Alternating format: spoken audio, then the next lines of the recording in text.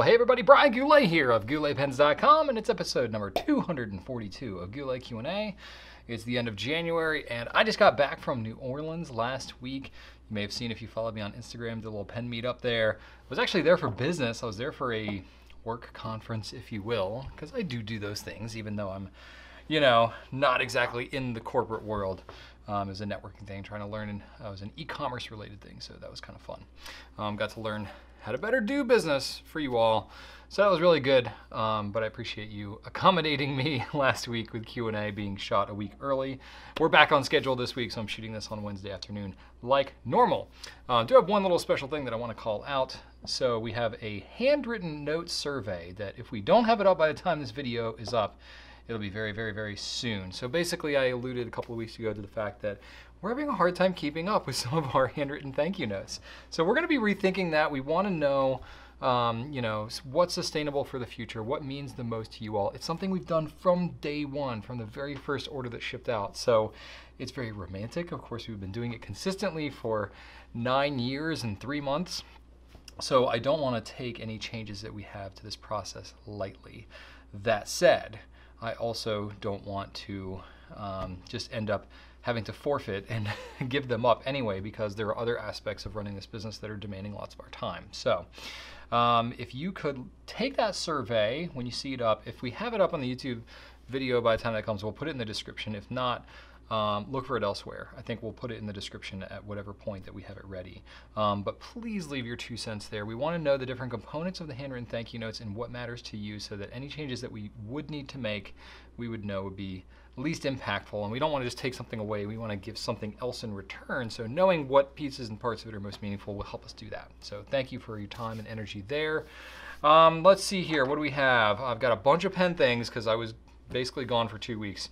So um, I'm gonna try and cover some of that stuff. I bravely chose eight questions for today's Q&A. So we're gonna see how well I actually do with that. So today's uh, topics include talking about budget eyedropper pens, using 20 pens at a time, and fixing pens that dry up on a regular basis, among other things.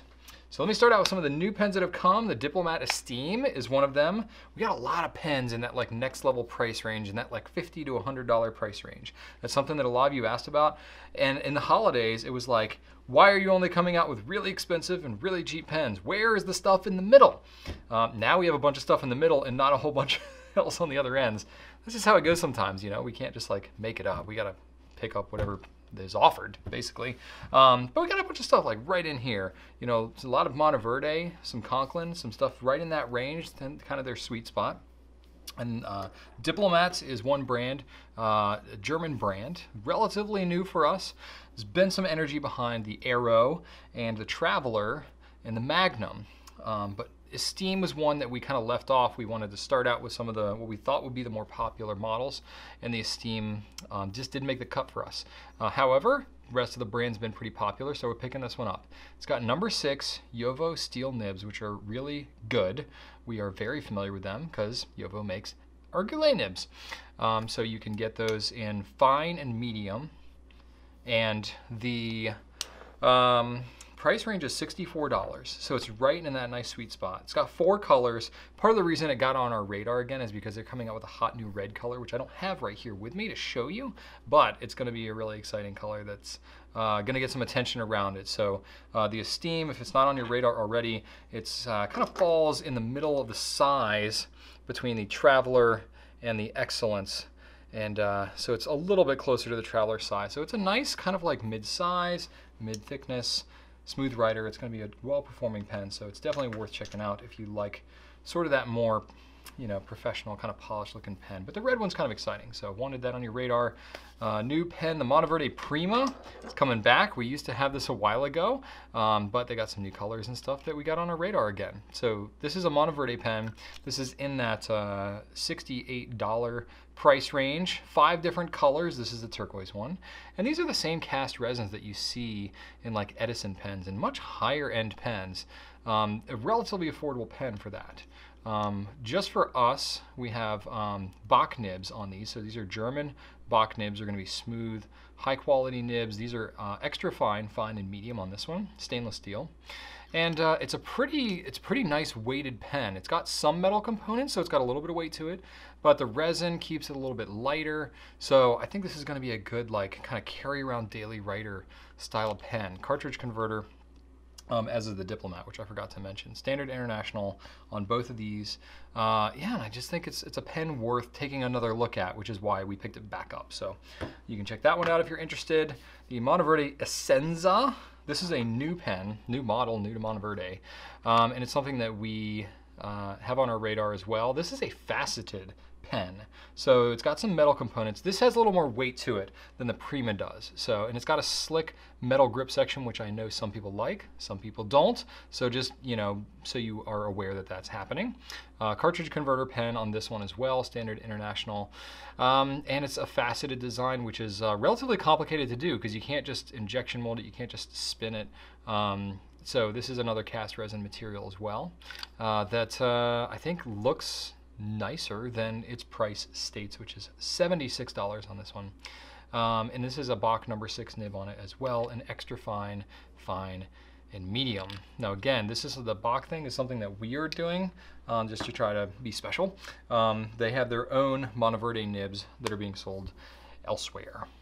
Uh, and then we have the another Monteverde, since why not? The Rodeo Drive. This is one that we tested out just a little bit. We had some closeout ones, which were the old version that had a colored body and a metal, all metal, like chrome cap. Uh, we wanted to, um, you know, give you a deal on those because we bought basically their old stock and, and cleared it out for you. Um, but they have some new colors now. So they are, something just made a noise behind me, I don't know what. I think it was my hustle sign slid down a little bit. Um, but anyway, so there's new colors here, including the Polaris, which the Polaris color has been really popular in the Northern Lights. Um, and so we wanted to, uh, sorry, it was called Northern Lights. And this is Northern Lights, what am I talking? This is Polaris, it was Northern Lights in the Regatta sport. That's what I'm thinking. Similar effect though, that bluish, purplish kind of color. Looks really classy. Um, and yeah, very fun. But there's other colors too. So we have four colors of that, $68 for these, number six Bock, extra fine, fine, and medium on that. They're all metal, they're a little bit heavier, metal grip section, um, but it's not too bad. It's the same grip section that's on the Invincia, if you're familiar with that one. So it's kind of contoured a little bit, comfortable grip, but again, it is metal, so just be aware of that. All right, what else we got? Conklin Crescent and Vintage Green. I think I mentioned that before, but we have that. Seems to be pretty popular. We have some new colors of Conklin Empires, and they lowered the prices a little bit. So you can check those out on the site. I don't have them because, frankly, I just ran out of time from pulling pens on this one. Um, another pen that I have, uh, the let's see here. Wait, hang on um, Lamy Vibrant Pink package sets. So we had these sold out of a bunch. We're restocking. Um, basically, Lamy is kind of coming towards the end of their uh, Vibrant Pink. You know, they're going to be coming out with a new uh, All Star and some new safaris and stuff like that for 2019. So their Vibrant Pink from last year, the 2018, is going to be seeing its way out. Um, they actually made adequate, you know, pretty adequate stock of the Vibrant Pinks. So they are kind of putting them uh, in nice little package sets, and we're going to clear them out so you can get some good deals on that. It's been pretty popular. The Aurora 88 Nira Unica is here, I believe. Um, I don't have that one to show you, but you can check it out on our site. We have some Robert Oster Crystal Marine ink, nice teal color there, um, as well as Three Oysters Marine Green, which I've been using that a little bit. Another really nice darker teal color. My jam is like, you know, kind of this shade of teal turquoise, whatever you want to call it, and it's kind of right in that zone. So lots of good teals coming out right now. Um, and speaking of teals, the TWSBI 580 All Emerald uh, has launched this week. Been pretty popular so far. We talked about it right now, so I won't belabor it, but it will be making a feature uh, later in the video today. So I just wanted to call that one out. And I will say, I, this this color is everything I hoped it would be, so I'm very happy about this one. Uh, and then what else have we got? The Diplomat Aero in red. You saw this come out about three months ago from the Andersons. Uh, they had an exclusive launch on this one, and now that launch has uh, released its exclusivity. So Um, good job on them for getting the exclusive on that. And if you haven't seen it already, uh, we now have it as well as all the other retailers. So you can check that one out. Same Aero pen as like the violet and the orange that we've had, um, but it's in the new red color. And it's a, it's a pretty bright red. It's got just a just the slightest hint of orange to it. You know, so it's not like a pure you know, candy apple red. It's just a little bit on the orange side, but great pen. The capping uh, action on this pen is one of my favorite of all times. And it's got a stainless steel JoWo nib, great performing pen, extra fine, fine, medium, and broad on the Aero. And it's number six size, so it's nice and big, made by JoWo in Germany, so it's gonna perform well. And the last pen that I want to show you before I get into the questions, this one's going to take me a minute, so please forgive me, but I thought it was worth showing because I have the Graf von Faber-Castell 2019 Pen of the Year Samurai. And they actually made two different versions of this. We ordered both, but we've only gotten the first one in. So we have the one that's the Magnolia wood version. So I want to show you that one. And the reason I wanted to show you, and I actually have it behind me, and I'm going to give you the whole uh, the whole unboxing, um, because this pen to me was one that I had on my radar very early on. Before really I even started selling fountain pens, back when I was a pen maker. Um, I was making pens out of wood back in 2007 to 2009. Um, before Goulet pens in its current form uh, took off. And uh, Faber-Castell was one brand, Graf von Faber-Castell especially, was one that was on my radar because they make a lot of pens out of wood. And that's not something a lot of companies will do. It's, it's kind of difficult. You know, wood is a natural material. It's prone to, you know, weather changes and the environment and ink stains and all these types of things, um, unless it's really done well. And Faber-Castell is one brand that has done it really well. So I kind of looked up to them and a lot of their their pens of the year are truly fantastic. They've been doing the pen of the year thing since 2003. Uh, so they have a bunch of them now. And several of them have been really nice, really elaborately themed wood pens, uh, including the one that I'm gonna show you today. So for me, this is kind of like, I don't know, I guess a milestone of sorts to be able to offer a Graf von Faber-Castell pen of the year. So I wanted to give it a little bit of love and show you the unboxing because the presentation is pretty tight. So here is the box that it comes in right here. Yes, this is the box, pretty large. And I don't want to botch the German, but I just want to have what a statement that that makes right on the top there. So it says, fragile, handle with care. In the German version, let's hear, Bruch, Genfahr, nicht werfen. Probably butchered that, I apologize. But I appreciate the messaging there. Um, how am I gonna show this to you? I'm gonna try and maybe open it up on the side. Can you see that okay? So nice thick cardboard. It's that like double layered cardboard, you know, that's nice and sturdy. So this pen is not going to get damaged in transit unless something crazy happens. A little extra cardboard on the top there. Can't have too much cardboard. And then you got all these like little cardboard compartments. Very thoughtful packaging on this. They don't just like throw it in a box and go. Um, so a lot of the cardboard here on the side is just for like extra padding. Really the meat of the thing is this big box that you have right here in the center and it's got this little flap that you can lift up. Ta-da! And there's the white box. So this is obviously the the main event. Oh, I gotta stand up. Can't even get the leverage I need. Okay. So here's the main box. And I'm gonna set the rest of this aside because I have opened this up once before because I wanted to strategize. So I will get to that. It's not, this is not everything. So um, there's, a, there's a method to my madness here. So you have this, I wanna very carefully open this because this is a real pen and it has not yet sold. So this will belong to one fortunate collector who has yet to actually buy this pen. I bought it on spec. Um, but yeah, look at this box. Boom. So if you actually do end up buying this pen from our site, it's the one we have. So this will be your pen, personally inspected by yours truly on video for all to see.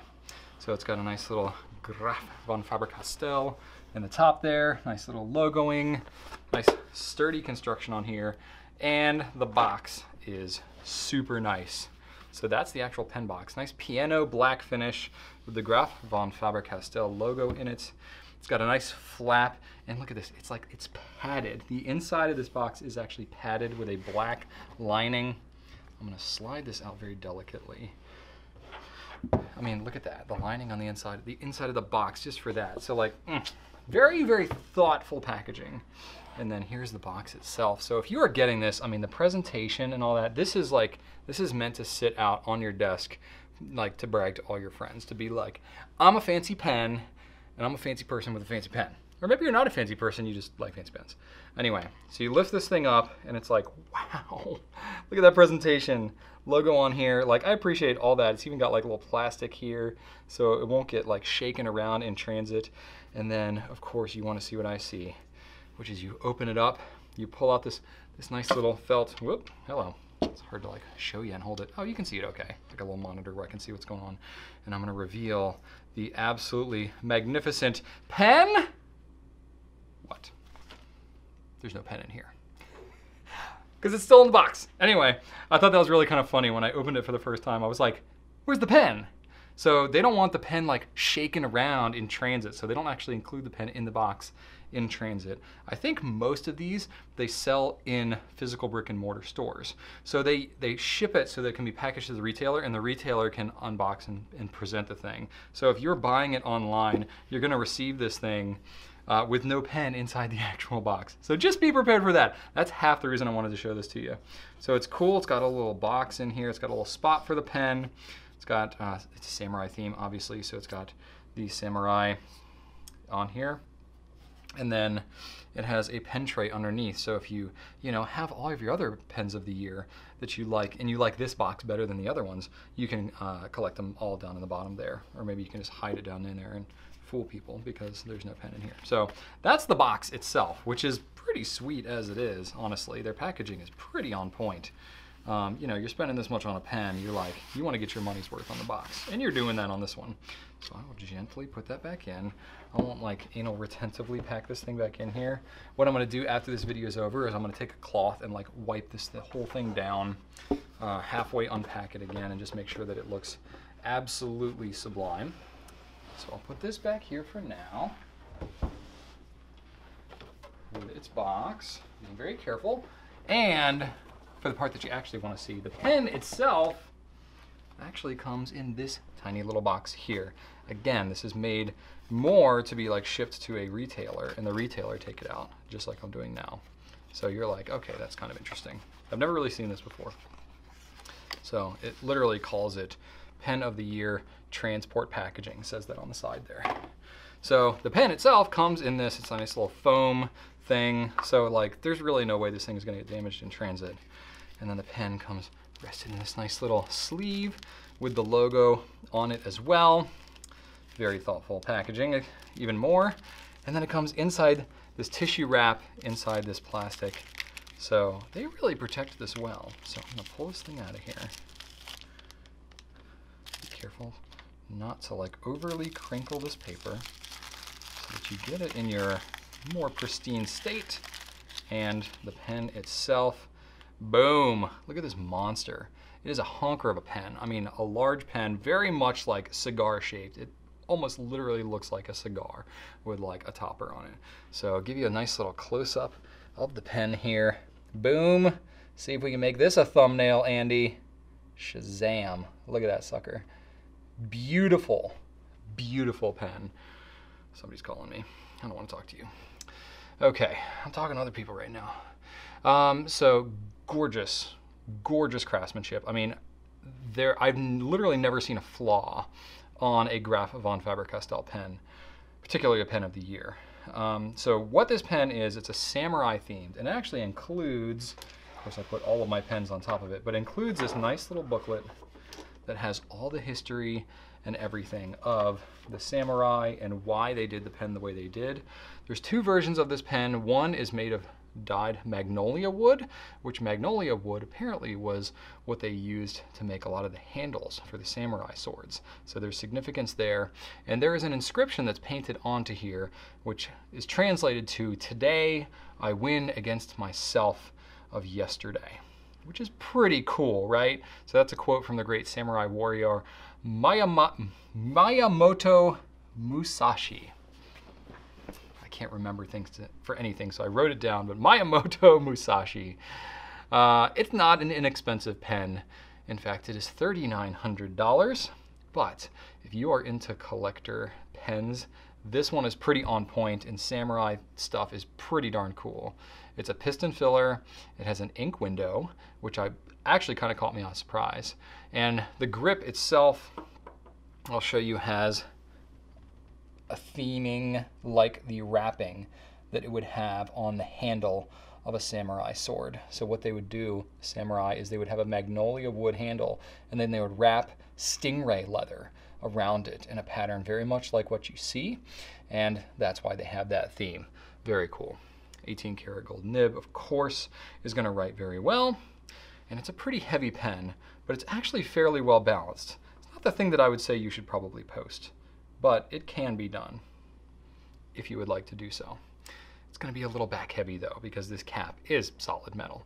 And then it has an inscription here in the top, which I believe means something to the effect of grip handle or something like that. It was kind of a traditional thing so um, for the samurai. So, so you can see what that looks like. Really, really cool pen. Um, so yeah, I'm just really kind of digging this one. I saw this in person uh, and I just knew that we had to carry it. Um, so again, kind of a milestone for me personally. I'm going to tuck it away in its little sleeve and then pack it up very nicely once we are all done with the video. But it can just kind of rest there. It can chill there next to me while we shoot the video. Um, yeah, there we go, little, little Graf.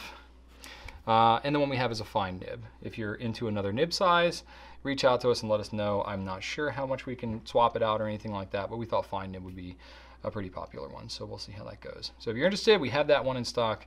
Um, and we're going to carry the other version, which is a metal barrel with an engraved gold, um, you know, stripe and dotted pattern, which also looks really, really cool. And that one's got gunmetal trim. So anyway, if you're interested in either of those, we will have them first year, 2019, the Goulet pens will carry the Graf Pen of the Year. I'm pretty pumped. Anyway, back to reality here. Now I'm gonna talk about like $4 pens, okay? so if you're like, wow, that's really cool, but it's like, it's neat, it's kind of aspirational. Like, I'm not even gonna have this pen.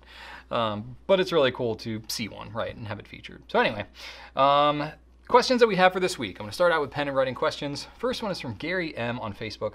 What are the best budget eyedropper pens among your brands?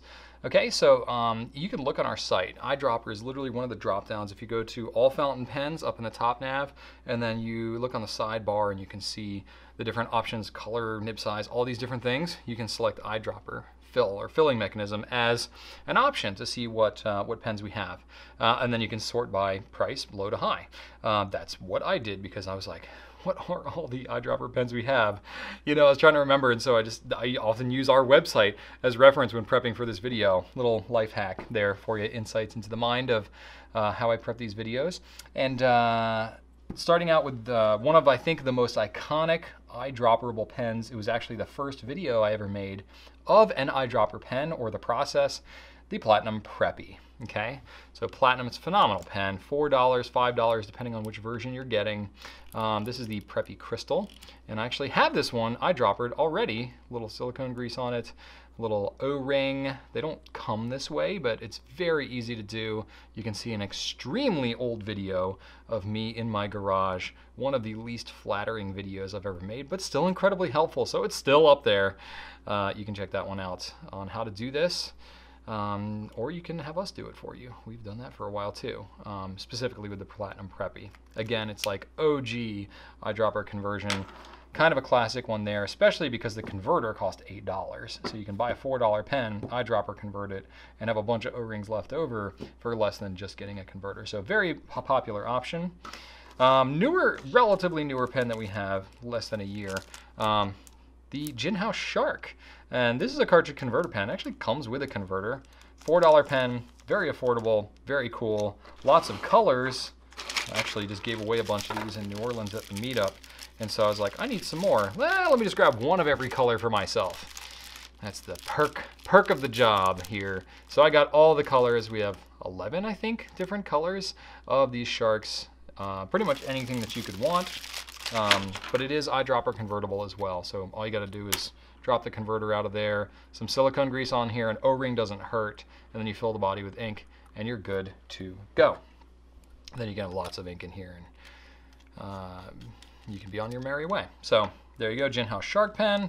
Uh, very affordable. Uh, another one that has a really high ink capacity the Noodler's Ahab. This is another classic that I love to eyedropper convert, or recommend eyedropper converting anyway. And this one's rather versatile because you can use the piston that comes with it. Technically, Nathan calls this a removable piston, not a converter. A lot of people call it a converter, but it's not converting to cartridges. Um, but uh, anyway, it's removable as if it was, uh, you know, like a like a converter. So it's a it's a piston. Uh, you can remove that. They have Noodler's 308 cartridges, which are basically refillable capsules that you can screw on here instead of the piston um, that you can use. So that technically is sort of a cartridge.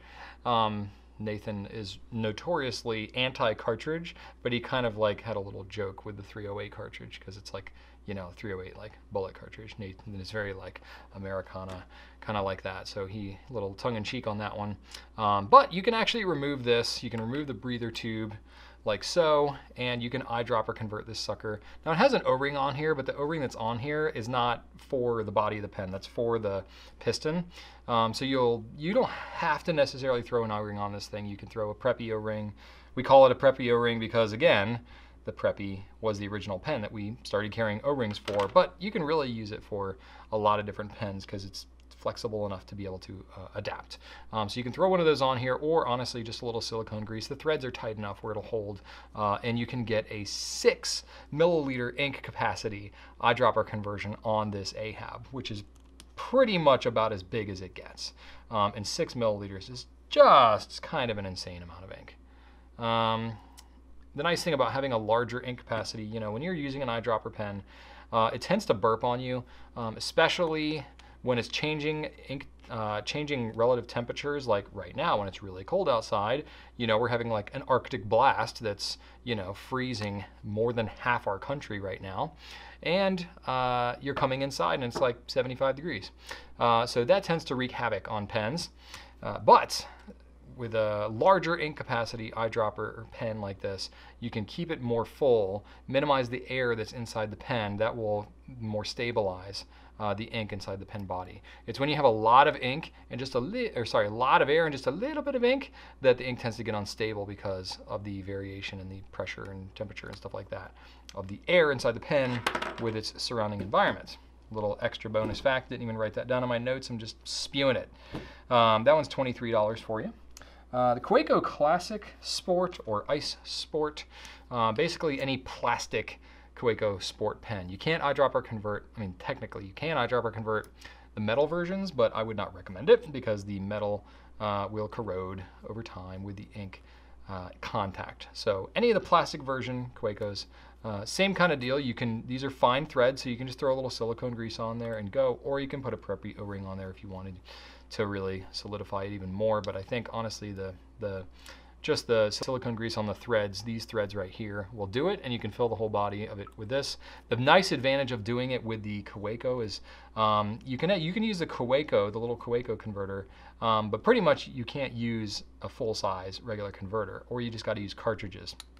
So the nice thing about this is little silicone grease on there and you can fill it and you can go uh, and not have to worry about refilling cartridges or anything like that. So that's fun. You get a nice pocket pen with a decent size ink capacity. So ever since I got into fountain pens, this is actually one of the first six fountain pens that I ever purchased. So there you go. It was in the original. I ordered six pens, I think it was. It was like that. It was a Lamy, Black Lamy Joy. Um, what else did I order? Pelikan Script um, and a couple others. I can't remember all of the. I think I ordered a Pilot Petite one, uh, and a couple other pens that I am failing to recall right in this moment. Might have been a couple different sizes of Pelikan Script. Um, yeah. So anyway, that was like this is like one of the first fountain pens I ever used, um, and the reason that it was on my radar at that time, back in summer of 2009, before I started selling pens um, is because it was eyedropper convertible. So, you know, a little nice little fact there about the life of Brian. Uh, and then the online slope. This is another one. Online's German brand, relatively newer for us, but um, the slope is a relatively new pen too. You have the Switch Plus. Uh, is another pen that looks kind of similar. It has an ink window, but uh, I don't think with that ink window that you would want to eyedropper convert it. So if you want to use eyedropper conversion, the slope is going to be your ticket. It's an all solid body, um, silicone grease on here. I would recommend using an O-ring for this one just because the threads aren't quite as tight as what you have on your Ahab or on your uh, Kaweco. Um, Preppy's got kind of chunky threads too. Uh, same with this online slope. So I would recommend uh, O-rings, especially for those. And then last one, I'm trying to keep all of these uh, under $50. There's a lot of them that go up beyond that. Um, you know, surprisingly few pens are actually legitimately eyedropper convertible. So no wonder we get asked about it so much. Um, so it's something I'm kind of thinking about. Uh, but anyway, the Pilot Varsity. Now, technically, this is an old version of it. They look way cooler now. Um, but technically, this is a pre-filled pen. It already comes loaded up with ink, and it's meant to be disposable. So you're not really supposed to think that much about what kind of filling mechanism it is. But it, that's what it is. It's eyedropper converted. The entire pen body is filled with ink. So technically, it's an eyedropper. And actually, when you empty the thing out and you use it all, you can yank the fins, the whole nib mechanism and everything right out of the thing. There's no cartridge or anything to worry about. Um, and you can refill the sucker. So, you know, even though it's meant to be disposable, you might have to kind of uh, give it a tug when you do it for the first time. But you can refill and use it. And I wouldn't recommend using uh, any shimmering ink or probably even any permanent ink because it's like a wick feed in here and I'm sure it won't last forever.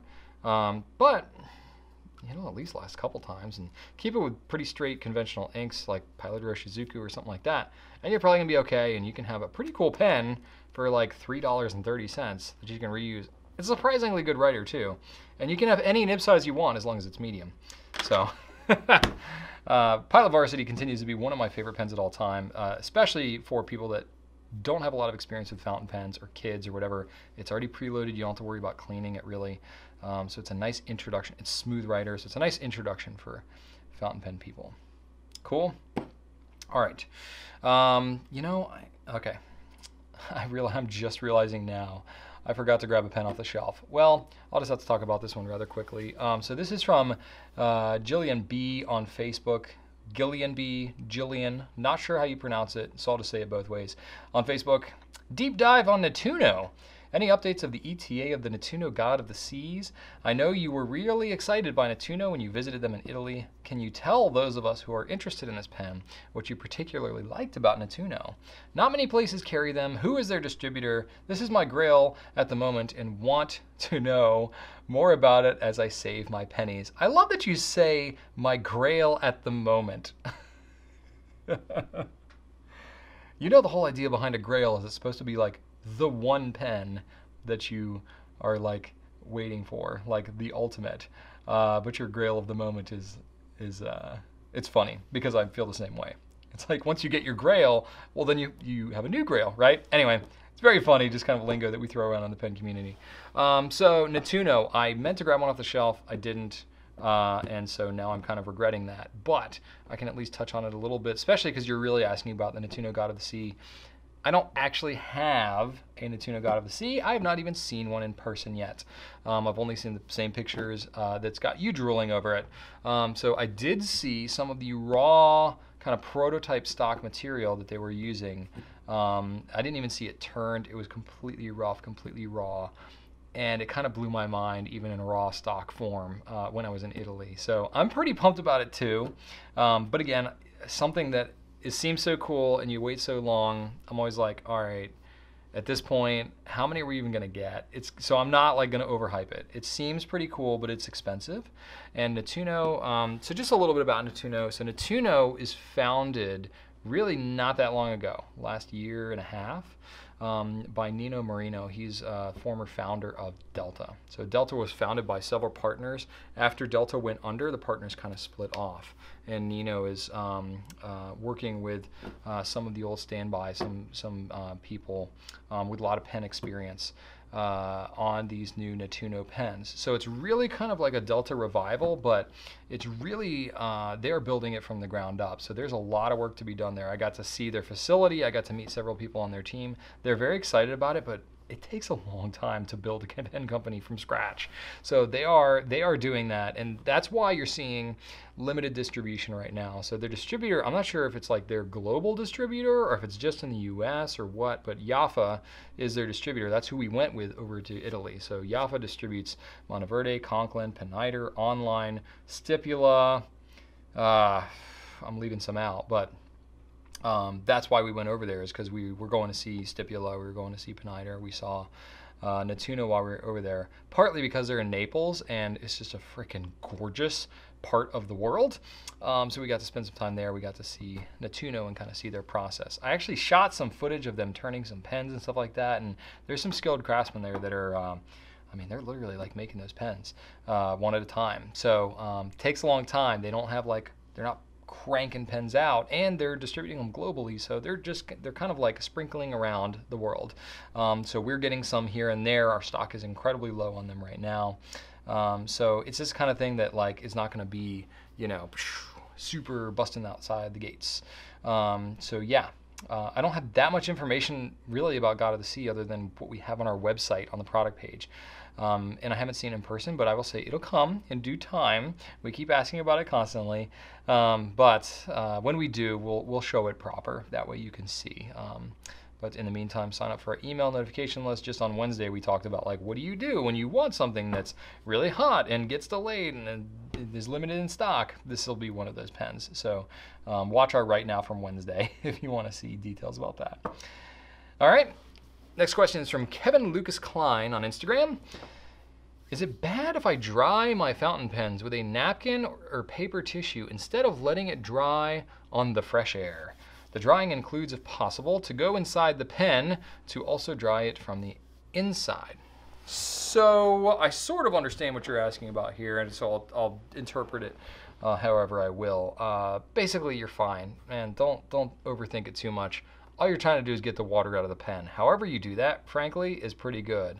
Um, so yeah, I use I use napkins, paper towels, tissue, whatever. I just wouldn't use anything that like you know if it's a tissue that you can like see the the junk like falling off and like floating around in the air. Like you know, yes, some tissues are better than others. If you buy like really cheap, crappy ones and you like pull it out of the tissue box and you can see like there's like paper fibers floating around in the air, maybe don't use those ones uh, unless you're in an absolute pinch. You know, if you if all you have with you is those crappy tissues because that's all your workplace buys or that's all you buy in your house or whatever, and that's it, and there's nothing else absorbent around you that you don't want to get ink all over, um, it's better than using your fingers. You know, which I've done in a pinch. Sometimes I go to a work conference or something, and I'm like, you know, I, I like just flown on the airplane. I didn't properly prepare my pens because I just basically stopped doing that now when I fly. I have so few issues. Um, and there's like a little bit of ink on the grip or whatever, and I'm like, well, I have no napkin, tissue, paper towel of any kind, no paper. I mean, well, sometimes I have paper. I'll like rub it all over the thing, and people are looking at me weird, like, why are you rubbing your pen all over your the edge of your paper? It's because I forgot a napkin. Uh, but anyway, so yeah, if I have that, I'll use a tissue or something like that. But I've, and I've had that and I've like used my finger and just like tried to like rub it all around so you don't notice it as much. You know, if you get like some ink on your finger, you just kind of like, you know, smooth it out. Maybe that's just me, uh, but I'll totally do that. You know, as long as it's not red and you're like freaking people out at your work conference, that you're like bleeding in the middle of somebody's PowerPoint presentation. And they're like, what's wrong with this guy? Why is this pen weird? Why is this pen guy so weird? I'm sure you guys get that a lot. I definitely do. Not really. They're like, why is this pen guy got such a nice pen? That's cool. He must be cool. I want to talk to him. Um, so yeah, some paper towels and tissues are better than others. Going back on track, um, you know, so you just want to make sure that you don't get like paper fibers and junk like stuck up in your pen. But as long as you're just like reasonably careful and you kind of pat around it, uh, you'll be fine. My specific personal favorite brand, if I can put on my, my sponsor hat here. If you find yourself needing to clean the grip of your pen, I can recommend none other than Bounty Select-A-Size paper towels. Thick enough to absorb your ink uh, and thin enough to not break your wallet. These double ply Bounty paper towel pulls off into a half sheet, which nicely folds over like this. And if you want, you can even fold it into a quarter for a nice convenient single hand size for padding of your nib or cleaning up of your ink spills. Not sponsored. Um, yeah, I just I just like this one. It's it's good enough quality, and it's uh, I love the Select-A-Size. That's really the main the main feature because you don't have a whole huge like a whole square paper towel. Just way too big. Um, really something more napkin size is pretty appropriate. In fact, um, you'll see at any given time on my desk, I'll have these like, like folded up sheets of paper towel that are just kind of chilling here. Um, I need to do like a like Stephen Brown does and have like he's got like an actual like terry cloth towel. Um, and he's it's just like covered in ink. I should do something like that. I just use disposable towels. Uh, but anyway, so that's how I work.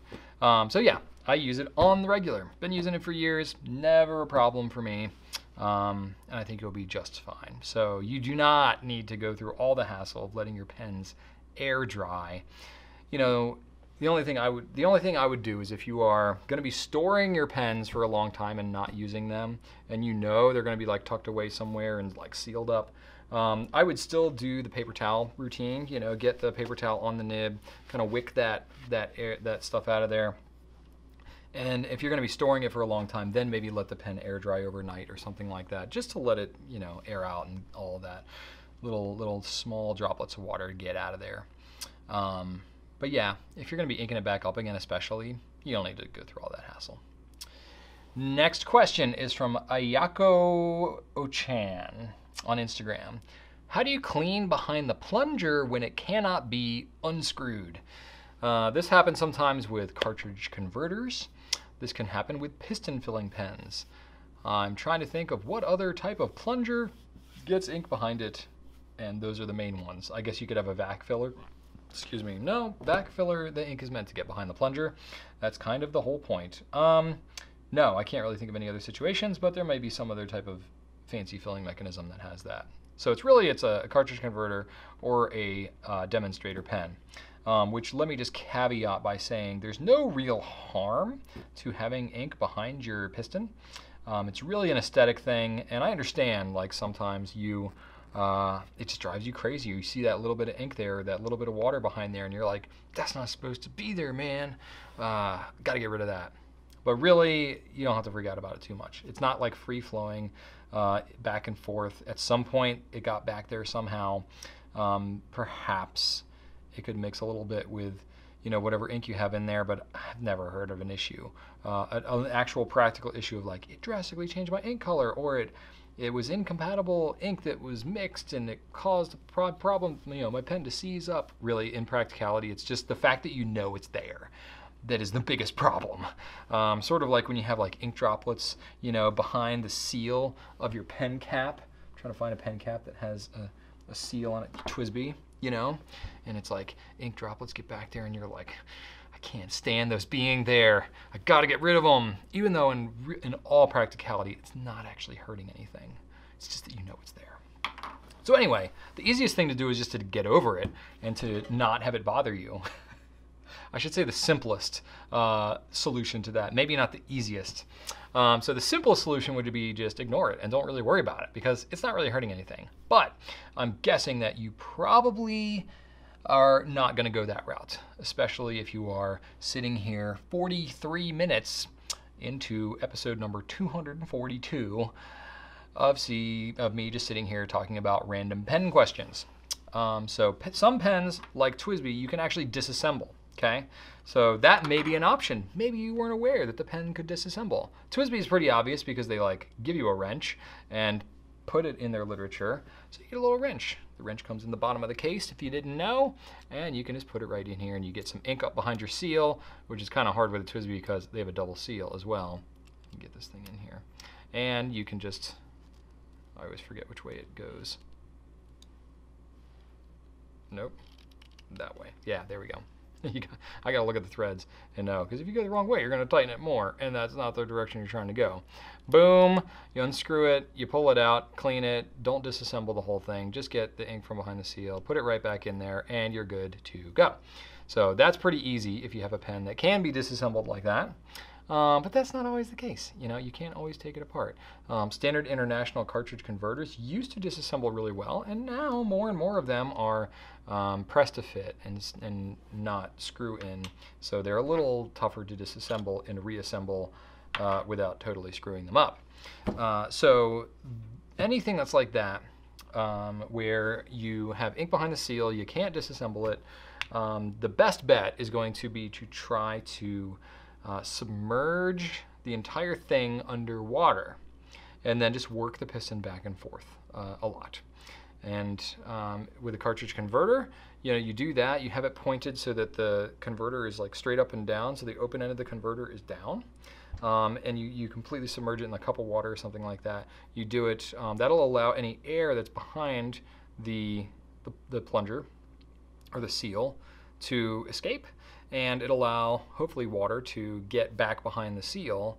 Now you'll be left with a little bit of water behind the seal, but it should be able to get the ink out of there.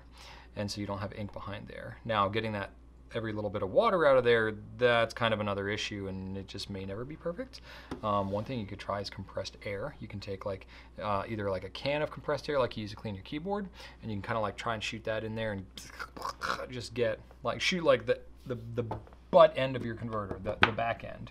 I'm trying to find a converter locally in my proximity here. Uh, does this diplomat have one in it? Let me see. I feel like making a lot of voices today. I don't know why. Here is one. So standard international cartridge converter. Can I actually disassemble this? No, not easily. So you used to just be able to like unscrew these suckers. Now they're like pressed to fit. It can come off, but it's really kind of a pain. So this one, if you if you have it in the cup of water like this, and then you it's completely submerged so the water's like coming up over here and then you just go down and down and down and eventually the water will kind of work its way behind that seal. Now when you do it you're almost certainly going to have leftover water behind your seal. So if that drives you crazy you're just a lost cause. I'm not sure you're ever going to get over that. Um, but that's where i'm saying the compressed air you take and you like put it like right in here on the back end and you try and like you know do that thing. Um, you like my sound effects there? And uh, and then you you maybe will be able to get some of it, but it just might not be perfect. So I'm just letting you know. Um, you're gonna be hating life if that happens to you, and you have to have it perfect. Um, you can just buy a new converter, and that might be your best option. Uh, but if you have a piston filling pen, you're gonna just try to get it as best you can, and you'll have to move on with life. But again, it doesn't really hurt anything. It's more of an aesthetic thing, and uh, that's the best that I know without disassembling the pen. Cool. All right, next question is Eruannecalie. Eruannecalie on Instagram. I dedicate pens for certain inks and use about 20 pens at a certain time. It takes about a month to use up all the ink if in a converter and months if in a piston filler. Forever if eyedropper. Har har. and actually wrote har har with an exclamation mark. My question is, what would be an ideal pen hygiene routine for such pens? Because for one, I'm a little lazy to clean pens. At least you're honest. And sometimes I don't feel I have to because I'll be putting in the same ink anyway. Thank you, and I hope you consider my question. Well, I have considered your question, and now your question will be answered. So this will vary a little bit based on the person, based on the pen, based on your surrounding environment and your local relative humidity in your temperature environment. Um, so I usually use around a month as a guideline for when some sort of maintenance is needed for your pen. Again, it could be more, it could be less. Too many factors to say definitively how it's going to be, but if it's the exact same ink, you can just, you know, if you got like half a converter in there, just dump that sucker right back in the ink, fill it right back up, and you're good to go. That is probably gonna do it. Really, all you're gonna need to do is get that thing wet again. You may just wanna dump it and flush and fill a couple times just in the ink bottle, because it's the same ink, you know, you may have dried out just a, just a tiny, tiny little bit, but you dump it and flush it and fill it back through. With all the ink and dye and everything's going to be reconstituted and you're going to be fine and you can keep on rocking. Unless the pen's like completely dried up and crusted out, then you want to clean it out, okay? Um, so you're going to have to use kind of your own judgment call on that one. Um, and again, the longer you go, the greater you're increasing your odds of having crustaceous pens. Um, uh, I know that happens to me all the time because I don't even limit myself to 20. I might have 40 pens inked up at a time, and I'm definitely not using all 40 of them at once. Uh, I am way more uh, about just inking up a pen and writing with it for the feel of the pen or the look of the ink, not necessarily because I have a specific pen like color, you know, for use of different actual purposes. It's not like I always take my meeting notes in green and I always take my write my handwritten letters in shady purple. Um, no, I don't do that. I have like a very radio voice kind of thing going on today. I don't know why. Anyway, so um, if you want to get a little cleaner, just flush it a few times with water. You don't have to go through this big elaborate thing if you know you're going to be putting the same ink back in it or a similar color ink. You don't have to like completely disassemble and then get all nerdy and toothbrush the feed and you know leave it sitting out for three days while it air dries. You don't have to do all that stuff. If you're trying to use your pens, you just want to turn them around again, ink them back up.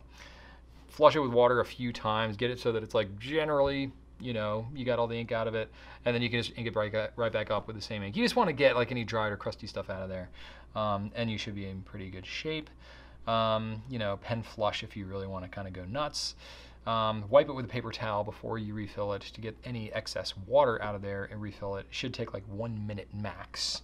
You know, so it's like, okay, if you got 20 pens and your month has come up, you have your bottles of ink, you can just refill them if you want to, or if you want to actually clean them out, just spend 20 minutes or half an hour at the sink. You know, put your phone up there, watch Netflix or Hulu or something, or you can live stream while you do it like I do.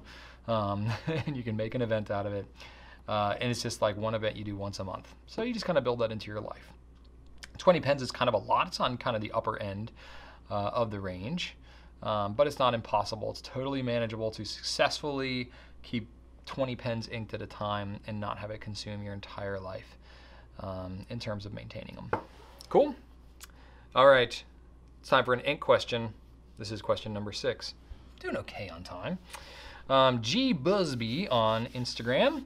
What is the darkest orange ink that you're aware of? Like a black orange, if you will. Well, what if I won't? Because I kind of won't, because I don't really have a black orange, but I'll do my best. Okay, um, Diamine Ancient Copper kind of falls in the the border of whether it's actually an orange or not. Maybe it's more brown, maybe it's more coppery. Um, you could probably make an argument for it being orange. That's going to be the darkest that I can think of. Um, but if you don't consider it orange, if you're more of an orange purist, um, Diamine Sunset, Noodler's Cayenne, Monteverde Mandarin Orange, perhaps. Monteverde Fire Opal. I'm going like darker as I go here. Robert Oster Burned Orange. Not burnt orange, burned orange. Um, there isn't really a black orange. You know, if you kind of think of like, oh, there's a blue black. Is there a is there an orange black or a red black? Yeah, not necessarily so much. Um, so uh, if none of these are dark enough for you, then you can actually experiment a little bit with making your own darker orange. Uh, just add a drop of black into your orange ink. It's not like you need to go 50-50. If you go 50-50 orange and black, you're gonna get black. Um, but you can experiment a little bit, you know, get yourself an ink sample vial, you know, with a decent volume of orange ink. And because you're trying to go for an orange black, what I would do if I were you, I would get a vial, fill it mostly with orange, and try just dropping like one drop of black ink at a time. Try and stick within the brand if you can, because when you go cross brand, you could be getting different you know, chemical makeup and stuff like that, and you could have some kind of weird reaction. Um, but if you go with a pretty standard, like unconventional or conventional black ink, you're probably going to be just fine. Like if you're using Noodlers, you can use Noodlers black with pretty much everything except Baystates, um, and I think you'll be okay. Um, going with a neutral pH as possible is really good. Noodlers black is neutral, so that's pretty cool. Um, so whatever your ink sample is, um, say it's you know you know, cayenne or whatever. Um, okay, that's fine. So you can add a drop of Noodler's Black to it, shake it up for a few seconds, get yourself a little glass pen if you want to, or if you really feel like dipping a nib, a fountain pen nib, you can. It's just a little more to clean out. This is why I keep glass pens, basically, is for this kind of thing. In fact, you can see this is a Noodler's Legal Blue that uh, I needed to do something with the other day, and I haven't cleaned off my glass pen yet, which is probably going to be a disaster when I go to do that. But anyway, it's been drying on my desk for the last two days. That's my life, people, okay? Uh, I play with pen things. My desk is a disaster right now. Anyway, Noodler's Legal Blue. That's not what I was talking about, though. My mind is all over the place. Where am I? In my in my head. Where am I at? Black orange. That's what you can do. Add a drop of black ink, swab it up. Not dark enough? Add another drop of black. Swab it up. Another drop of black. Swab it up. Another drop of black. Oh, that's too black? Crap, ruined a vial. Oh well, you dump that, then you know, okay, one vial, three drops of black, not four, is perfect, or as good as I'm going to get. And then you can rock on with your custom-made orange black ink. And if you come up with the perfect orange black ink, please tell me the formula so that I can maybe create it for you. That'd be kind of cool. There's a whole world of like ink mixing and stuff like that that you could really have a good time if you are so inclined. All right. Now I have a troubleshooting question. This is from Anthony Draper on Instagram. I got my first new gold nib fountain pen six slash seven months ago. I can rarely write with it for more than a paragraph or two. The ink won't flow through it. Do I just need to use it more? Or is there something wrong with it that needs replaced? Probably not replaced, hopefully not. Um, so some things that I'd really love to know is what pen you have and how long you're going in between writing, but since this is not an interactive type of situation, I'm just gonna have to make assumptions. Whenever I hear a question like this, like, my pen's not writing like it should, or it's stopping when I'm trying to write with it, it's really difficult because there's so many different factors going on. Especially if it's like you've had it six or seven months, you say it's your first gold nib fountain pen. I don't know if it's your first pen ever. You know, so I'm going to just lean a little bit towards the newbie end of my advice, okay? So forgive me if I'm speaking too elementary for you. It's not meant to be an insult. I'm just trying to be as helpful and break it down. It's sort of like when you have a problem with your computer, you're like, have you tried turning it off and turning it back on again? Um, if you've ever seen the IT crowd or the It crowd on Netflix. Highly recommended. It's a British comedy. It's very funny. And they literally have like an answering machine that's like, have you tried turning it off and turning it back on again? Because that fixes like most problems, right? So the fountain pen version of have you tried rebooting it is, well, have you tried cleaning it out and then inking it back up? It's literally gonna be my first recommendation for you. Clean out your pen because you could have had something maybe like not perfect with the pen cleaning related because sometimes you know when pens are manufactured there's a little bit of machining oil or a little dust or a little something in there and it doesn't flow perfectly clear. Most pens in their instructions will say clean the pen first before using it. Doesn't necessarily have to be done for everybody but that will help. So first off whenever somebody has any type of relatively new pen and it's not flowing perfectly like they think i'm always like clean it out ink it back up and try it again. That's always my first recommendation Next one is, um, you know, you know, clean it thoroughly, obviously. Um, try to eliminate like the paper as a variable, try and eliminate the ink as a variable because sometimes you're just using a really dry ink and just maybe that pen doesn't like how dry that ink is or the paper you have is really absorbent and it's just sucking too much ink out like the cards that we use for example for our uh, thank you cards, the Goulet thank you cards, they're very absorbent. Cardstock in general tends to be very absorbent, and there's pens that I never have had a problem writing with before, like broad nib pens with pretty white writing ink that will dry out when writing on these cards. So try different paper and see if you can eliminate that as a variable. Um, but if you're like, no, I know this paper is good, I've used this ink in 18 other pens, and it writes writes perfect, and this ink is just too dry in this pen. So once you've tried that, if you're like, nope, I cleaned it, inked it back up, it's not it, I know it's not a problem with the ink, whatever, just try another ink, try other paper and stuff like that. See if you can eliminate that. If you do all that stuff and you know it's still an issue, then you're like, okay, maybe there's something uh, going on. But I think, I bet like 95% just going through those steps, you will get it writing better. Um, try and um, refill the pen every three to four weeks, kind of like I alluded to with the question about having the 20 pens um, just a second ago. You know, making sure that you're that you're writing with the pen on a pretty regular basis. Um, if you're not writing with it that often, it could be that the ink is just drying up in the pen. That totally happens, depending on what your ink you're using, especially if you're using a shimmer ink or anything with a high level of sheen.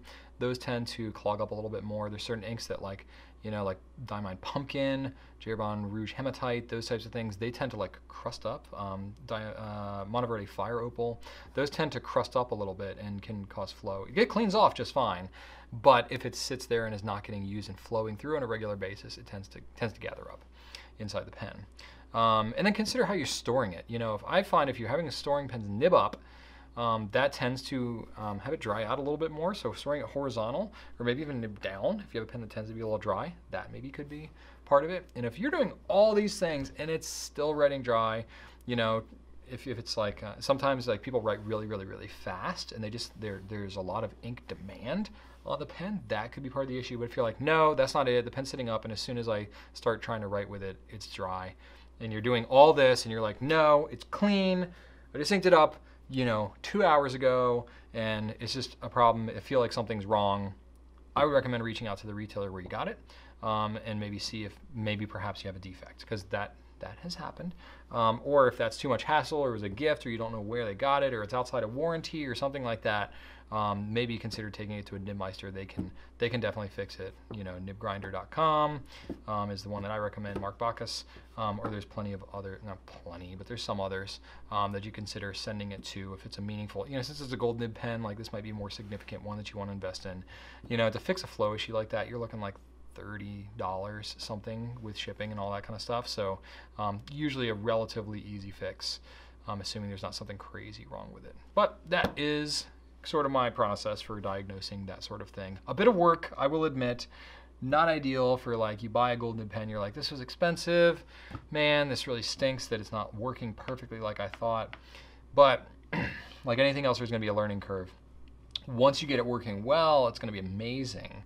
But you know, you got to get it there. It's like any other fine instrument. You kind of have to do a little bit of work and know how to use it to really get it to, you know, sing.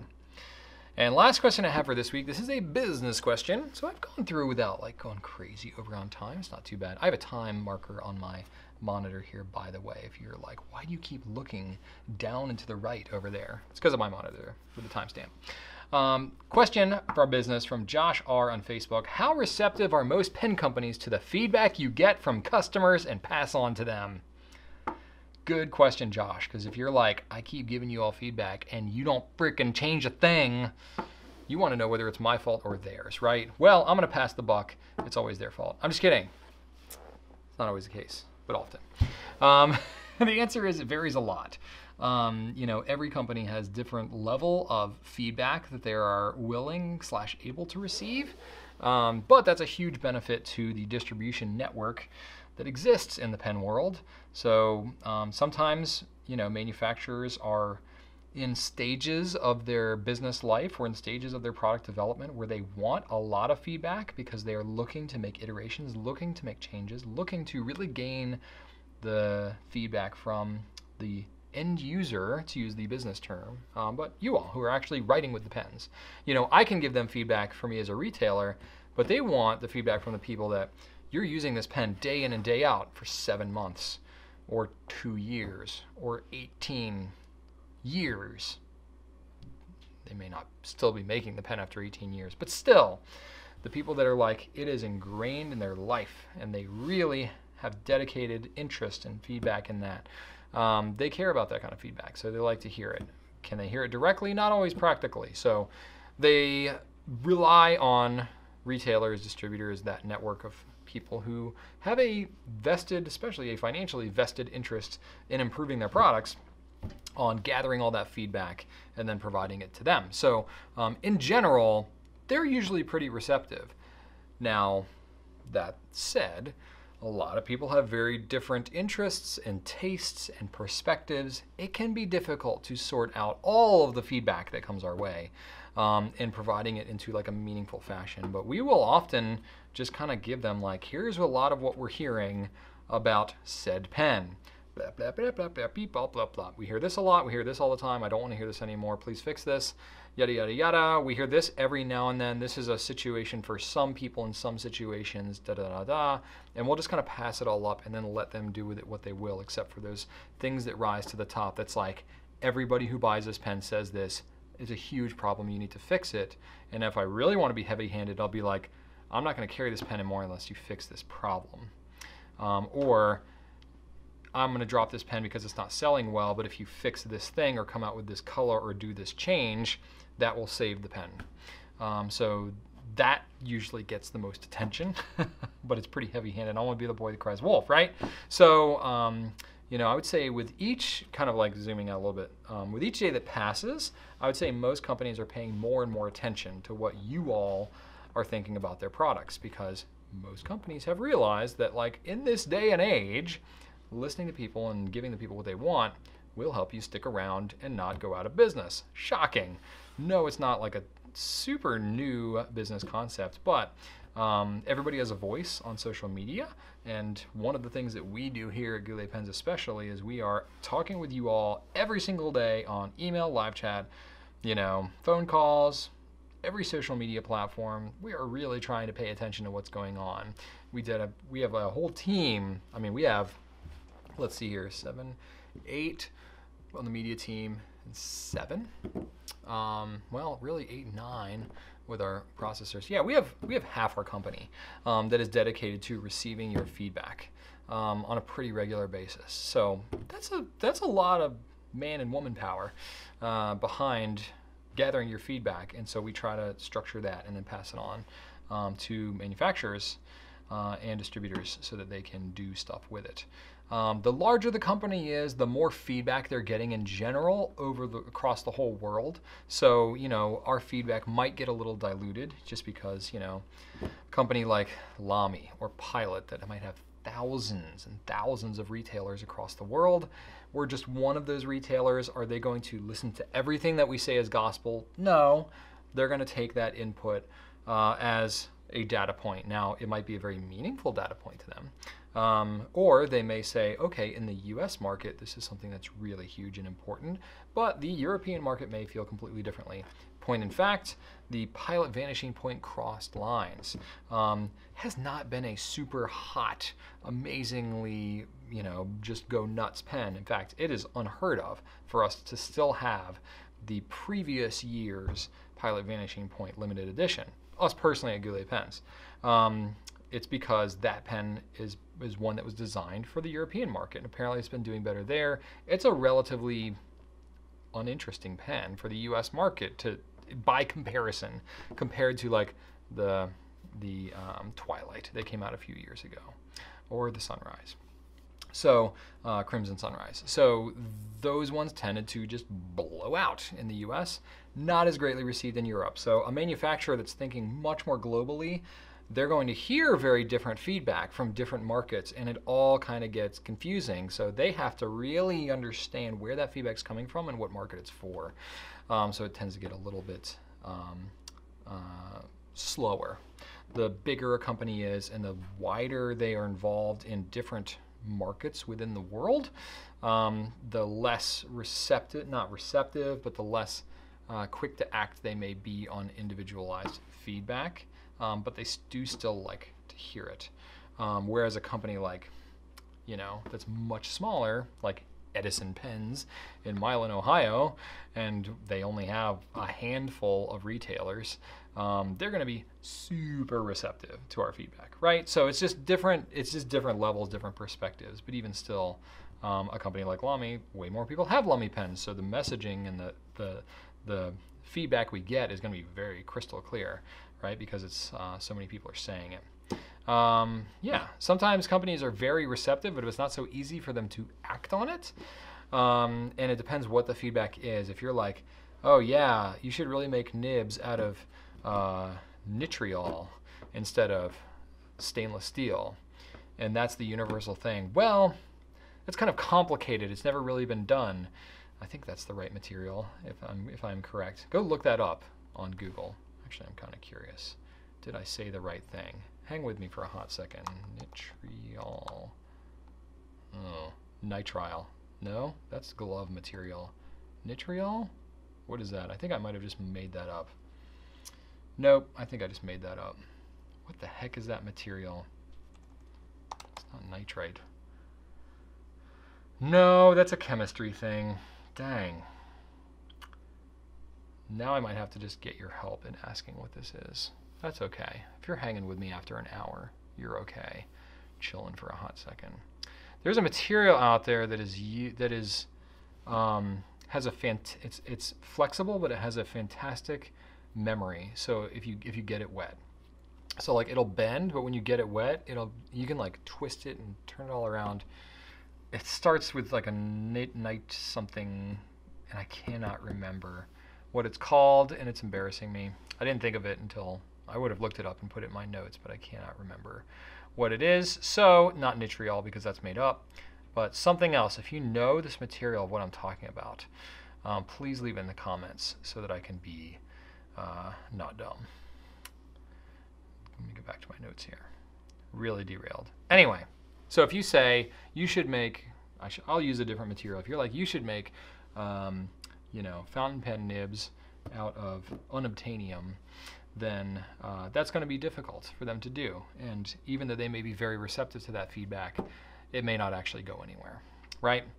Um, that said, all that said about the whole feedback thing, I can't encourage you enough to keep giving feedback. It is the lifeblood of the Goulet Pen Company for sure, um, but it does actually make a difference. And the more that I have been doing this whole video and the social media thing, you know, we're coming up on 10 years here at Goulet, and uh, we have a lot of respect, I think, for how much we've stuck with it and how engaged we've been with the pen community over the years that it's now to the point where pen companies are way more receptive to our feedback, especially than they were a long time ago. But just the bigger we get and the longer we're around, the more respect we have and the more we have their ear.